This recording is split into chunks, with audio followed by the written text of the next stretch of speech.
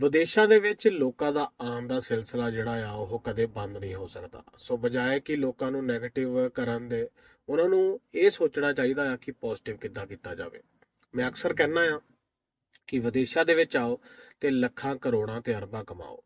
ਸੋ ਗੱਲ ਇਦਾਂ ਆ ਵੀਰੋ ਕਿ ਲੋਕਾਂ ਨੇ ਆਣਾ ਹੀ ਆਣਾ ਆ ਔਰ ਇਹਦੇ ਵਿੱਚ ਜਿਹੜੀ ਕੋਸ਼ਿਸ਼ ਤਾਂ ਇਹ ਹੋਣੀ ਚਾਹੀਦੀ ਆ ਕਿ ਕਿਵੇਂ ਜਿਹੜਾ ਆ ਉਹ ਅੱਗੇ ਲੋਕਾਂ ਨੂੰ ਸਮਝਾਇਆ ਜਾਏ ਕਿ ਉਹਨਾਂ ਦੀ ਜ਼ਿੰਦਗੀ ਇੱਥੇ ਸੌਖੀ ਹੋ ਸਕਦੀ ਆ।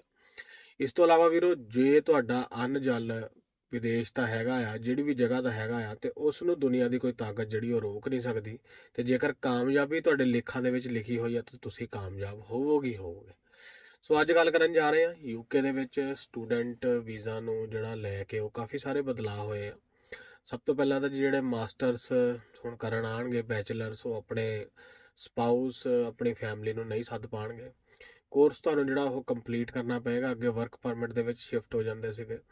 ਹੁਣ ਤੁਹਾਨੂੰ ਕੋਰਸ ਆਪਣਾ ਕੰਪਲੀਟ ਕਰਨਾ ਪਏਗਾ, ਜਿੰਨੀ ਡਿਊਰੇਸ਼ਨ ਹੋਏਗੀ, ਕਿਉਂਕਿ ਯੂਨੀਵਰਸਿਟੀਆਂ ਦੀ ਫੀਸ ਬੰਦੇ ਜਿਹੜੇ ਸੀਗੇ, ਉਹ ਮਾਰ ਲੈਂਦੇ ਸੀ ਸਟੂਡੈਂਟਸ ਜਿਹੜੇ ਹੁੰਦੇ ਸੀਗੇ। ਡੀ ਚ ਤੁਸੀਂ ਕਰ ਸਕਦੇ ਆ।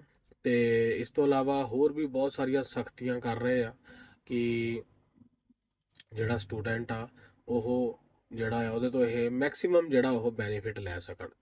ਐਦਾਂ ਹੀ ਆਸਟ੍ਰੇਲੀਆ ਦੇ ਵਿੱਚ ਵੀ ਇਹ ਕੋਸ਼ਿਸ਼ ਕਰ ਰਹੇ ਆ ਕਿ ਜਿਹੜੀ ਕਰੀਮ ਹੀ ਆ, ਉਹੀ ਆਏ ਇੰਟੈਲੀਜੈਂਟ ਬੱਚੇ ਹੀ ਆਣ ਸੋ ਵੀਰੋ, ਕੋਸ਼ਿਸ਼ ਇਹ ਕਰੋ ਕਿ ਬੱਚੇ ਜਿਹੜੇ 16 15 14 ਸਾਲ ਦੇ ਆ, ਕਿਉਂਕਿ ਬਾਹਰ ਜਾਣ ਦਾ ਸੁਪਨਾ ਤਾਂ 8 9 ਸਾਲ ਦੀ ਉਮਰ 'ਚ ਜਿਹੜਾ ਉਹ ਬੰਦੇ ਦੇ ਦਿਮਾਗ ਦੇ ਵਿੱਚ ਬਣ ਜਾਂਦਾ ਆ।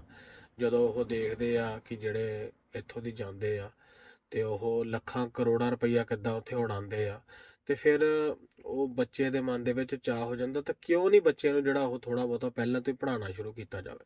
ਸੋ ਪੜ੍ਹਾਈ ਕਰਕੇ ਵਧੀਆ ਤਰੀਕੇ ਨਾਲ ਉਹ ਜੌਬ ਵੀ ਵਧੀਆ ਮਿਲ ਜਾਂਦੀ ਆ ਤੇ ਫਿਰ ਉਸ ਤੋਂ ਬਾਅਦ ਤੁਹਾਡਾ ਅੱਗੇ ਵੀ ਭਵਿੱਖ ਜਿਹੜਾ ਆ ਉਹ ਸੁਨਹਿਰੀ ਹੋ ਜਾਂਦਾ ਆ ਤੇ ਲੱਖਾਂ ਕਰੋੜਾਂ ਅਰਬਾਂ ਕਮਾਉਣ ਦੇ ਵਿੱਚ ਜਿਹੜੀ ਉਹ ਆਸਾਨੀ ਹੁੰਦੀ ਆ। ਸੋ ਆਣਾ ਤਾਂ ਹੈ ਹੀ ਆ ਜੀ, ਮੈਂ ਤਾਂ ਬਹੁਤ ਤਕੜਾ ਸਪੋਰਟਰ ਆ। ਲੇਕਿਨ ਵੇ ਆਊਟ ਲੱਭ ਕੇ ਆਓ।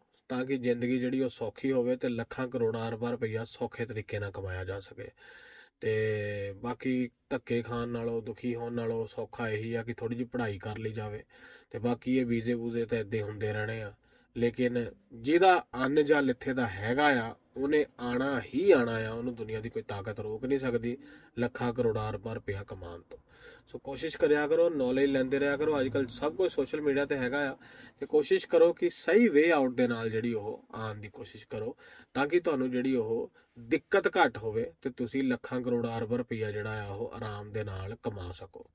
ਤੇ ਚੇਂਜਸ ਹੁੰਦੇ ਰਹਿੰਦੇ ਆ, ਉਹ ਵੀ ਦੇਖਦੇ ਰਿਹਾ ਕਰੋ। ਅੱਜ ਕੱਲ ਤੁਸੀਂ ਦੂਸਰੇ ਬੰਦੇ ਦੀ ਗੱਲ ਤੇ ਯਕੀਨ ਕਰਨ ਦੇ ਨਾਲੋਂ ਆਪ ਸਰਚ ਆਊਟ ਕਰਿਆ ਕਰੋ। ਅਫੀਸ਼ੀਅਲ ਵੈਬਸਾਈਟਸ ਹੈਗੀਆਂ ਆ ਤੇ ਈਜ਼ੀ ਵੇ ਆਊਟ ਇਹੀ ਆ ਕਿ ਥੋੜਾ ਪੜ੍ਹ ਕੇ ਆਓ ਤੇ ਸੌਖਾ ਹੋ ਜਾਊਗਾ ਤੇ ਵਧੀਆ ਤੁਹਾਡੀ ਜ਼ਿੰਦਗੀ ਜਿਹੜੀ ਉਹ ਹੋ ਜਾਊਗੀ। ਖੁਸ਼ ਰਹੋ ਤੇ ਜ਼ਿੰਦਾਬਾਦ ਰਹੋ।